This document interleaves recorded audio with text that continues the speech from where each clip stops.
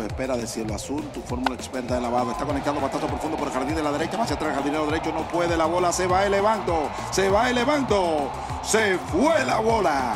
Cuadrangular para Nick Franklin. Nick, you hit a homer that was the difference in this game. Can you take us through that at bat? Uh, honestly, I was just looking for something over the plate um, that I could do damage with. Um, you know, just trying to put the ball in play and put some pressure on the defense. Um, other than that, I wasn't trying to do anything specific. Just put the ball in play.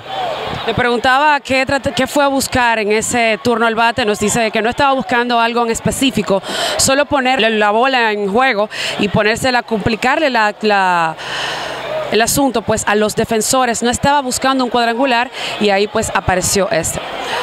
What does this victory mean for you guys?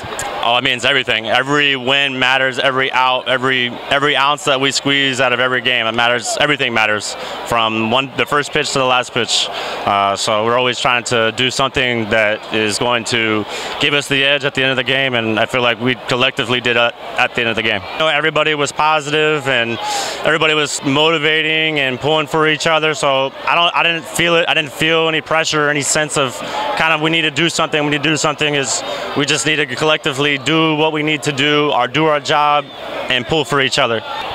Le preguntaba qué significa esa victoria para ellos. Ellos dicen, o él me dice, que cada out, cada, cada momento del partido cuenta y que al final pudieron lograr el cometido de llevarse la victoria. Dice que nunca ha sentido la presión, que todo el mundo de manera colectiva está pues manteniéndose positivo y tratando de ganar cada partido. Congratulations, Nick. First one. Hope we get more. Yeah, yes, thank you.